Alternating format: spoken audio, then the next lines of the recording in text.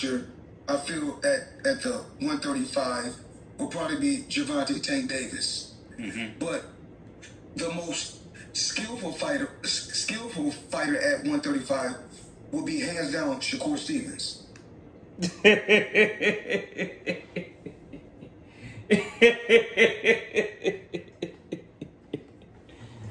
My, my, my, Floyd Mayweather. One of the greatest fighters of all time. He one of the biggest haters of all time, bro. we to go live on this shit tonight, but this is funny. This is funny, bro. Smash the like button, subscribe to the channel, share the video. Catch me live Monday, Wednesday, and Thursday night at 7.30 p.m. Central Time. I'm also live every Sunday morning with the Singing OG KQKC Boxing Network. Sunday mornings, 9 a.m. Central Standard Time. And um, I ask that you join the channel as a member, drop super chats and super thanks when you come by the live streams and videos that we do.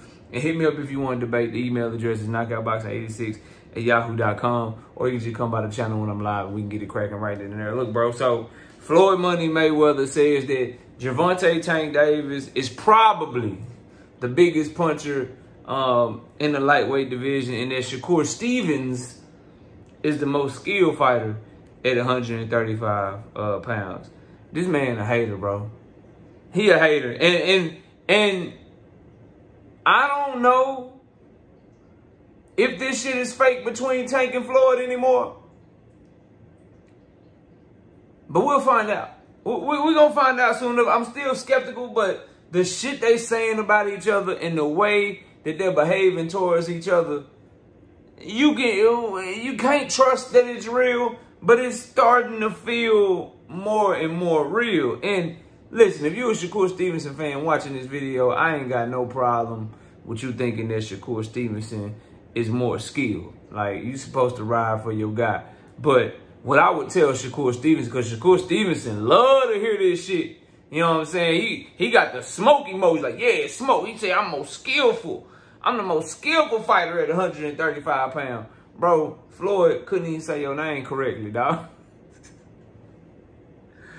Floyd didn't even put the sun at the end of your name, bro. He just hating on Tank. Like, and I'm about to break down why Shakur Stevenson ain't nowhere near as skilled as Tank Davis, but he knew he said Tank name correctly. And Stevenson is not that hard to say. that boy said, and the most skillful fighter is probably Shakur Stevens. He didn't even take the time to make sure he pronounced your name correctly, bro. And you just letting him use your ass. You letting him, so here's what Shakur Stevenson is doing, bro. He's doing the same shit Ryan Garcia did. And the same shit Devin Haney did. And he's allowing Floyd Mayweather and Tank Davis to use his name to promote them. Or use him to help big up Tank. Like, dog, he's promoting Tank. And you don't even know it. And he hating on Tank. And he don't even know he promoting him at the same time. This shit is just weird, bro. You over here, big, yeah, that's right. Smoke emoji. That's the goat right there saying I'm more skillful. He, he can't even say your name right, bro. And y'all be like, oh, no, I gotta come, man, I ain't trying to hear that shit. Anyone that can take the name, take the, anybody that won't take the time to try to say your name correctly, bro, I ain't got no respect for you for real. that boy gave Tank his full nickname. Probably the hardest puncher, Gervonta Tank Davis. And the most skillful fighter is Shakur Stevens. Shakur Stevens is the most skilled. So that, that shit was funny to me, bro. Like, that boy Petty, that boy, he he do not want Tank to be in his bag the way he in his bag, bro. He really don't. But let's break down what he actually said, bro. There is no evidence to me to support that Shakur Stevenson is more skilled than Gervonta Tank Davis. Honestly, quite the contrary, bro. I don't know what people be looking at. Ring IQ, the shit not close. The shit is not close. Tank Davis sets people up and, and for kill shots and sets people up in ways that Shakur Stevenson could could only dream of, bro. And Shakur Stevenson, to me, his defense is overrated. I think he's a, a very good defensive fighter, but he defense in boxing is a is is is about can you turn that defense to offense. can you be explosive? And to me, Shakur Stevenson is not near the counterpuncher that Gervonta Tank Davis is. He's not his transition from defense to offense with his feet, with his head movement, slipping shots, and then being able to counter. Bro, it's not nearly as explosive or dangerous as Gervonta Tank Davis. Tank Davis's defense is highly underrated because his defense is dangerous. And part of the defense is when people get when people get through on your shit, can you still hold your form? Can you still fight? And Shakur Stevenson, if you starting to get through on his shit, he gonna run around the ring on your ass. Tank Davis defense, he gonna always make sure I'm gonna be there. I'm gonna be defensively responsible, but I'll put myself in a little bit more harm's way to make sure that you know I'm thumping your ass. So, to me, it's about a matter of preference. And as a fight fan, I would go with Tank Davis's defense over Shakur Stevenson for this reason and this reason alone. It's like watching football. Do you want the defense that can just hold you to field goals and keep you and keep you, you know what I mean, honest, but don't get no turnovers? Or do you want the defense that might let you score a touchdown, but they gonna turn the ball over, they gonna get interceptions, they gonna get pick sixes, they gonna return fumbles for touchdowns and shit. Do you want a defense that's just gonna keep the other offense from scoring, or do you want a defense that's gonna not only keep the offense from scoring, but also go score their own touchdown, go score their own points? That's when you get the type of defense that Tank Davis showed with Leo Santa Cruz. Slip your ship, uppercut, you going to sleep. I prefer that type of defense, bro. Over to just step back, step back, step back, don't hit, step back, step back, step back, don't hit me. I prefer that. I prefer the slip uppercut to the body, that type of defense that put Mario Barrios on the motherfucking ground and was the beginning of the end for him in that 10th or 11th round against Mario Barrios. To me, that's a more effective defense. So the one thing that you could say Shakur got over Tank, oh, he's the least hit fighter in the sport and all that. Yeah, take your little, what, what do you got? Maybe like 8 percentage on Tank? Because I looked at the shit on CompuBox. Tank, Tank is like top 15 in defense. Like people connect on about like 18% of they they punches. Shakur's like somewhere around seven to eight. So 10%, 10%. But what that extra 10% give me, Tank Davis is also the most accurate power puncher in boxing. And the shit is explosive and deadly. Yeah, I, I'll take, I'll take that. I'll take that defense because it's more explosive. Then when you start getting into the angles, the footwork, the durability of the chin, the fighting style, the heart, the dog that people fight with, the power, like the ring IQ, like it's not close, bro. I don't know what Floyd Mayweather is doing other than just hating. There's no, when you watch their fights, bro, there's nothing that Shakur Stevenson has done that you haven't seen Tank Davis do. And then Tank Davis has done plenty of shit that you've never seen Shakur Stevenson do in your life, bro. So I don't know where this shit come from. I don't know. I don't know why this shit is is, is being said.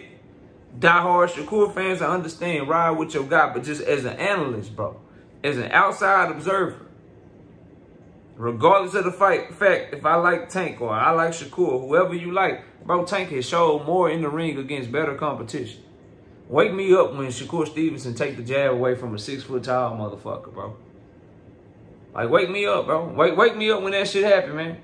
Wake me up when Shakur Stevenson take the, the, the explosive, fast-ass, powerful-ass left hook away from from from somebody like Ryan Garcia. Like, bro, they, it's not the same. It's different.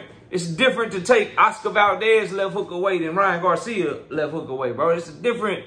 It's different levels of shit, bro. Like, I don't know what the fuck dudes be looking at, man. But y'all will find out because they gonna fight. And y'all will find out, bro. But I think Floyd Mayweather is dead ass wrong. Based off of what we can, what we've seen as fight fans and analysts, the shit we've seen with our eyes, what skill has Shakur exhibited more in the ring than Tank? He's more cautious. He takes less chances. Now you tell me a big ass fight that you've seen where where two fighters fighting at the top level where a motherfucker ain't got to take some chances. Moss anyway put on a great performance against Cool Boy Steph. He had to take chances. He had to he had to be able, be willing to say, I can now jab this motherfucker even though he longer than me. He supposed to be fast. He supposed to be slick. I'm gonna jump in here with that jab. Terence Crawford had to take risk against Errol Spence. I'm going to switch southpaw the whole motherfucking fight, and I'm going to time his ass, and I'm going to out-jab this nigga. Y'all think this nigga jab is hitting on something? Let me show you something. Hold my motherfucking beer right quick. And he went in there and he fucking put on a phenomenal performance, bro. What has Shakur done, bro? He ain't never fought at any disadvantages. He been bigger than everybody ever fought. Longer than everybody ever fought. Naturally bigger. The man was 150 pounds cutting a featherweight, dog. He was 150 to 155 pounds cutting the junior featherweight. I mean, junior lightweight. And now he at lightweight, walking around 155 to 160, cutting down to 135, bro. Stop playing, dog. That boy, that boy big out there. It's easy when you when you fighting smaller guys. And then the one time he fought somebody his size, how he looking there with Edwin? Oh, he only had one hand. He was hurt. KO, his trainer was telling him to throw that bitch, though. But let's go with the hurt shit. Let's go with the hurt shit. What was a better performance? Tank Davis's hurt hand performance against Pitbull or Shakur Stevens' hurt hand performance against Edwin? Somebody let me know in the comments. You know, the Pitbull that's 140 pound champion right now. You know what Tank did to Mario Barrios, who's the 147 pound champion right now. You know the Pedraza that became champion again after Tank Davis stopped him and was the only person to stop him until earlier this year. Come on, bro. Come on, this skill shit, it is a wide gap. And the gap is in a, in a different direction than what a lot of y'all think. Because for y'all, for, for the way that Shakur Stevenson fights and the way that he goes about his work, he's a front runner, bro. He allows the threat of someone to change the way that he fights. If you threaten him like Nakathila, he fights differently. If you threaten him like Valdez, he fights differently. I see a lot of Shakur fans saying that was a masterclass performance or he looked great against Oscar Valdez. No, he didn't. He was on his back foot way too fucking much. He was the bigger man. Valdez clearly couldn't do nothing with him. He could have did Valdez worse than he did Jamel Herring. But his mind was, this motherfucker can punch. So I'm just going to stay cautious. That's a fucking flaw. That's, some, that's a motherfucking flaw, bro. Fuck y'all think Tank Davis do to Oscar Valdez. Floyd is making the same mistake that a lot of y'all make, and that is this right here. Oh, he got power. You missed the hand speed. He got way better hand speed than Shakur. Shit not close. You missed the you missed the ring IQ. You missed the timing. You missed the you missed the defensive prowess when he wanna have it. And you missed the fact that Fuck all this shit that, that all these people tell you about this skill, that skill. Watch both of them fight and tell me something you've seen Shakur Stevenson pull out that you haven't seen Tank Davis pull out. Then I will tell you a million things.